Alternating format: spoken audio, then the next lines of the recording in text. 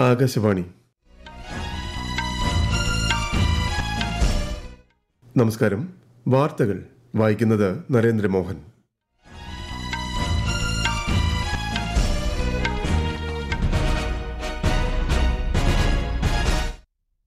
പ്രധാന വാർത്തകൾ.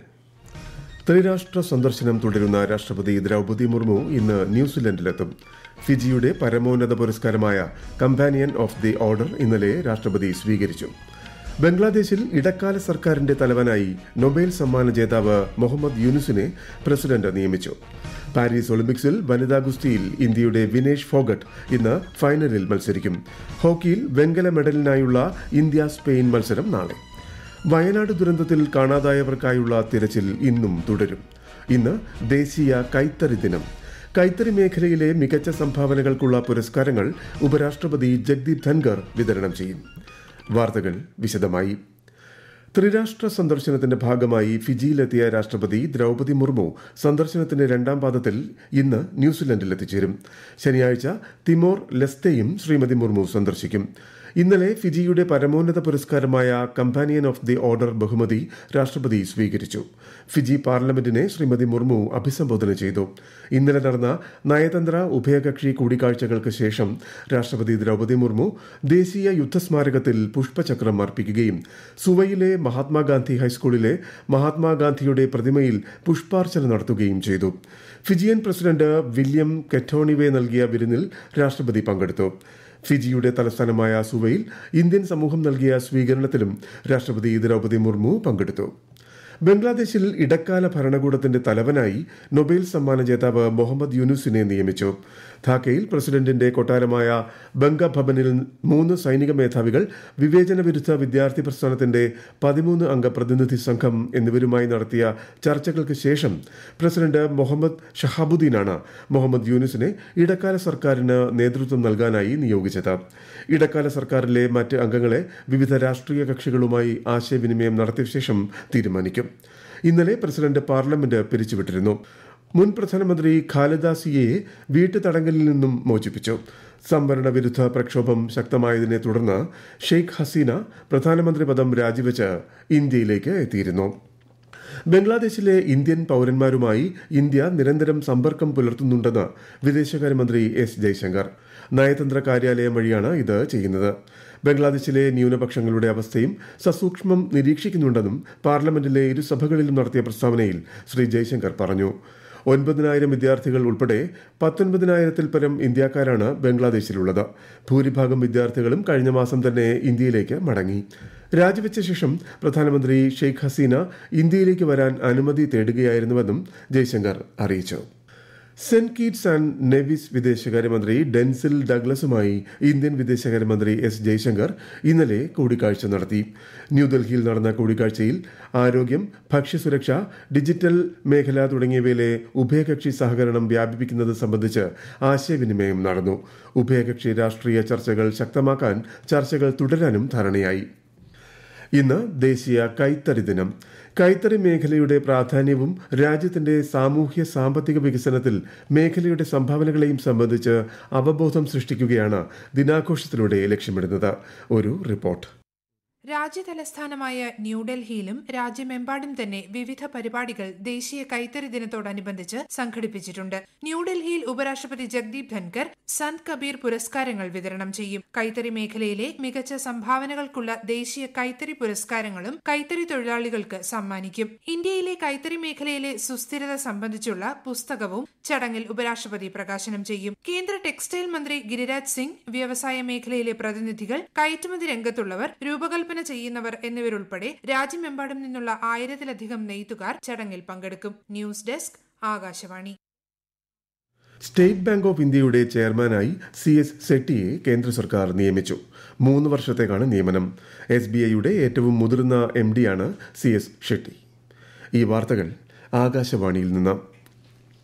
ലോകോത്തര നിലവാരത്തിലുള്ള ചിലവ് കുറഞ്ഞ ആരോഗ്യ സംരക്ഷണ കേന്ദ്രമായി ഇന്ത്യ ഉയർന്നു വരുന്നുവെന്ന് കേന്ദ്രമന്ത്രി ഡോക്ടർ ജിതേന്ദ്ര സിംഗ്. ഇന്നലെ ന്യൂഡൽഹിയിൽ നടന്ന ഗ്ലോബൽ മെഡ് ടെക് ഉച്ചകോടിയെ അഭിസംബോധന ചെയ്യുകയായിരുന്നു അദ്ദേഹം. ആരോഗ്യ ശാസ്ത്രത്തിൽ ഗവേഷണവും വികസനവും പ്രോത്സാഹിപ്പിക്കുന്നതിൽ ബയോടെക്നോളജി വകുപ്പ് കൈവരിച്ച നേട്ടങ്ങളും കേന്ദ്രമന്ത്രി ചടങ്ങിൽ എടുത്തു പറഞ്ഞു. പാരീസ് ഒളിമ്പിക്സിൽ വനിതകളുടെ അൻപത് കിലോഗ്രാം ഫ്രീ സ്റ്റൈൽ ഗുസ്തിയിൽ ഇന്ത്യയുടെ വിനേഷ് ഫോഗട്ട് ഇന്ന് ഫൈനൽ മത്സരത്തിനിറങ്ങും. സെമിയിൽ ക്യൂബയുടെ യുസ്നലിസ് ഗുസ്മാൻ ലോപ്പസിനെ പരാജയപ്പെടുത്തിയാണ് വിനേഷ് ഫോഗട്ട് ഒളിമ്പിക് ഗുസ്തി ഫൈനലിൽ എത്തുന്നത്. ഒളിമ്പിക്സ് ഗുസ്തി ഫൈനലിലെത്തുന്ന ആദ്യ ഇന്ത്യൻ വനിതാ താരവും ശ്രീമതി വിനേഷ് ഫോഗട്ടാണ്. ഒളിമ്പിക് വിശേഷങ്ങളുമായി പാരീസിൽ നിന്നും ആകാശവാണിക്ക് വേണ്ടി വി. ശിവകുമാർ. പാരീസ് ഒളിമ്പിക്സിൽ ചൊവ്വാഴ്ച നടന്ന മത്സരങ്ങളിൽ ഏറ്റവും ശ്രദ്ധിക്കപ്പെട്ടത് വിനേഷ് ഫോഗട്ടിന്റെ ഗുസ്തി മത്സരങ്ങളായിരുന്നു. വളരെ ശക്തരായ എതിരാളികളെയാണ് വിനേഷിന് നേരിടേണ്ടി വന്നത്. ഇതുവരെ എൺപതിൽ പരം അന്തർദേശീയ മത്സരങ്ങളിൽ തോൽക്കാതെ മത്സരത്തിനെത്തിയ യുയ് സുസാക്കിയെ മൂന്ന് രണ്ടിന് അവസാന നിമിഷം തോൽപ്പിച്ചു. സെമി ഫൈനലിൽ ക്യൂബയുടെ യുസ്നെയിലസ് ലോപ്പസ് ആയിരുന്നു എതിരാളി. വിനേഷ് ക്യൂബയുടെ യുസ്നെയിലസിനെ അഞ്ച് പൂജ്യത്തിന് പരാജയപ്പെടുത്തി ഫൈനലിൽ പ്രവേശിച്ചു. ജാവലിൻ ക്വാളിഫിക്കേഷൻ റൗണ്ടിൽ ഇന്ത്യയുടെ നീരജ് ചോപ്ര എൺപത്തി ഒൻപത് പോയിന്റ് മൂന്ന് നാല് മീറ്റർ എറിഞ്ഞ് എട്ടാം തീയതി നടക്കുന്ന ഫൈനലിലേക്ക് ക്വാളിഫൈ ചെയ്തു. രാത്രി നടന്ന ഹോക്കി സെമിഫൈനൽ മത്സരത്തിൽ ഇന്ത്യ ജർമ്മനിയോട് രണ്ട് മൂന്നിന് പരാജയപ്പെട്ടു. ഇനി വെങ്കലത്തിനായി ഇന്ത്യയ്ക്ക് സ്പെയിനിനോട് പൊരുതണം. ഇന്ന് നടക്കുന്ന ടേബിൾ ടെന്നീസ് മത്സരത്തിൽ മണിക ബത്ര ശ്രീജ ആക്കുല അർച്ചന കമത് എന്നിവർ മത്സരിക്കും. നാൽപ്പത്തിയൊൻപത് കിലോ ഭാരോദ്വഹനത്തിൽ ഇന്ത്യയുടെ മീരാബായ് ചാനു ഇന്ന് മത്സരത്തിനിറങ്ങും. ഇന്ത്യയും ശ്രീലങ്കയും തമ്മിലുള്ള മൂന്നാമത്തെ ഏകദിന ക്രിക്കറ്റ് ഇന്ന് കൊളംബോയിലെ ആർ പ്രേമദാസ സ്റ്റേഡിയത്തിൽ നടക്കും. ഉച്ചയ്ക്ക് രണ്ട് മുപ്പതിന് മത്സരം ആരംഭിക്കും. രണ്ടാം ഏകദിനം ജയിച്ച ശ്രീലങ്ക പരമ്പരയിൽ ഒന്ന് പൂജ്യത്തിന് മുന്നിലാണ്. ആദ്യ മത്സരം സമനിലയിൽ കലാശിച്ചിരുന്നു. ആയിരത്തി തൊള്ളായിരത്തി തൊണ്ണൂറ്റിയേഴിനു ശേഷം ശ്രീലങ്കയ്ക്കെതിരെ ഒരു പരമ്പരയിലും ഇന്ത്യ പരാജയപ്പെട്ടിട്ടില്ല. വയനാട് ദുരന്തത്തിൽ കാണാതായവർക്കായുള്ള തിരച്ചിൽ ഇന്നും തുടരും. നൂറ്റി അൻപത്തിരണ്ട് പേരെയാണ് ഇനിയും കണ്ടെത്താനുള്ളതെന്ന് മന്ത്രി കെ രാജൻ. നേരത്തെ പരിശോധന നടത്തിയ ഇടങ്ങളിൽ വീണ്ടും വിശദമായ പരിശോധന നടത്തും. സൺറൈസ് വാലിയിൽ പ്രത്യേക സംഘത്തിന്റെ പരിശോധന ഇന്നും ഉണ്ടാകും. സൂചിപ്പാറ വെള്ളച്ചാട്ടത്തിന് താഴെ ഹെലികോപ്റ്ററിൽ ഇറങ്ങിയ പ്രത്യേക സംഘം ഇന്നലെ പരിശോധന നടത്തിയിരുന്നു. അതേസമയം ക്യാമ്പുകളിൽ കഴിയുന്നവർക്ക് നഷ്ടപ്പെട്ട റേഷൻ കാർഡുകൾ വിതരണം ചെയ്യും. തിരുവനന്തപുരത്ത് അമീബിക് മസ്തിഷ്ക ജ്വരം സ്ഥിരീകരിച്ച നെയ്യാറ്റിൻകര നെല്ലിമൂട് പ്രദേശത്ത് മുപ്പത്തിയൊൻപത് പേർ നിരീക്ഷണത്തിലുണ്ടെന്ന് ആരോഗ്യവകുപ്പ്. രോഗം സ്ഥിരീകരിച്ച പേരൂർക്കട സ്വദേശിക്ക് രോഗം ബാധിച്ചത് എവിടെ നിന്നാണെന്ന് ഇതുവരെ കണ്ടെത്താനായിട്ടില്ല. രോഗബാധ റിപ്പോർട്ട് ചെയ്ത പ്രദേശം തിരുവനന്തപുരം ഡിഎംഒ സന്ദർശിച്ച് സ്ഥിതിഗതികൾ വിലയിരുത്തി. കൃഷി മൃഗസംരക്ഷണം ക്ഷീരോത്പാദനം ഫിഷറീസ് തേനീച്ച വളർത്തൽ തുടങ്ങിയ രംഗങ്ങളിൽ പ്രവർത്തിക്കുന്നവർക്കായി ഹ്രസ്വകാല വായ്പകൾ അനുവദിക്കണമെന്ന് ബാങ്കുകൾക്ക് കേന്ദ്ര സർക്കാരിന്റെ നിർദ്ദേശം. ഏഴ് ശതമാനം പലിശ നിരക്കിൽ മൂന്ന് ലക്ഷം രൂപ വരെ അനുവദിക്കണമെന്നാണ് നിർദ്ദേശം ഉള്ളത്. പലിശ കൃത്യമായി തിരിച്ചടയ്ക്കുന്ന കർഷകർക്ക് മൂന്ന് ശതമാനം അധിക പലിശ ഇളവ് ലഭിക്കും. ഹ്രസ്വകാല വായ്പ ലഭ്യമാകാൻ ആധാർ ബന്ധിപ്പിക്കൽ നിർബന്ധമാണെന്ന് റിസർവ് ബാങ്ക് അറിയിച്ചു. രാഷ്ട്രപതി ഭവനിലെ അമൃത് ഉദ്യാൻ ഈ മാസം പതിനാറ് മുതൽ അടുത്ത മാസം പതിനഞ്ച് വരെ പൊതുജനങ്ങൾക്ക് സന്ദർശിക്കാം. ഈ മാസം പതിനാലിന് രാഷ്ട്രപതി ദ്രൗപദി മുർമു അമൃത് ഉദ്യാൻ വാർഷിക വേനൽ പതിപ്പിന് തുടക്കം കുറിക്കും. ദേശീയ കായിക ദിനത്തോടനുബന്ധിച്ച് ഓഗസ്റ്റ് ഇരുപത്തിയൊൻപതിന് കായിക രംഗത്തുള്ളവർക്ക് മാത്രമാകും പ്രവേശനം. സെപ്റ്റംബർ അഞ്ചിന് അധ്യാപക ദിനത്തോടനുബന്ധിച്ച് അധ്യാപകർക്ക് മാത്രമായി പ്രവേശനം നിജപ്പെടുത്തും. രാഷ്ട്രപതി ഭവൻ വെബ്സൈറ്റിലൂടെയും നേരിട്ടെത്തുന്നവർക്ക് മുപ്പത്തിയഞ്ചാം നമ്പർ ഗേറ്റിലെ കിയോസ്കുകൾ വഴിയും ടിക്കറ്റുകൾ എടുക്കാം.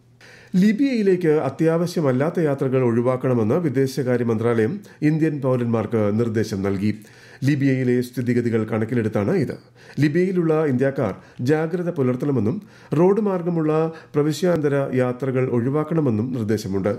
അടിയന്തര ഘട്ടത്തിൽ ട്രിപ്പോളിയിലെ ഇന്ത്യൻ നയതന്ത്ര കാര്യാലയവുമായി ബന്ധപ്പെടാം. ഫോൺ നമ്പർ രണ്ട് ഒന്ന് എട്ട് ഒൻപത് നാല് മൂന്ന് ഒൻപത് ഒൻപത് രണ്ട് പൂജ്യം നാല് ആറ്.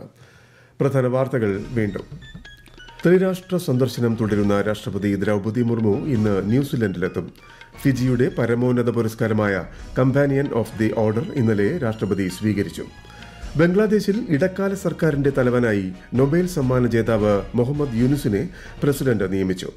പാരീസ് ഒളിമ്പിക്സിൽ വനിതാ ഗുസ്തിയിൽ ഇന്ത്യയുടെ വിനേഷ് ഫോഗട്ട് ഇന്ന് ഫൈനലിൽ മത്സരിക്കും. ഹോക്കിയിൽ വെങ്കല മെഡലിനായുള്ള ഇന്ത്യ സ്പെയിൻ മത്സരം നാളെ. വയനാട് ദുരന്തത്തിൽ കാണാതായവർക്കായുള്ള തിരച്ചിൽ ഇന്നും തുടരും. ഇന്ന് ദേശീയ കൈത്തറി ദിനം. കൈത്തറി മേഖലയിലെ മികച്ച സംഭാവനകൾക്കുള്ള പുരസ്കാരങ്ങൾ ഉപരാഷ്ട്രപതി ജഗ്ദീപ് ധൻകർ വിതരണം ചെയ്യും. വാർത്തകൾ കഴിഞ്ഞു. അടുത്ത വാർത്ത പ്രക്ഷേപണം. ഉച്ചയ്ക്ക് പന്ത്രണ്ട് മുപ്പതിന്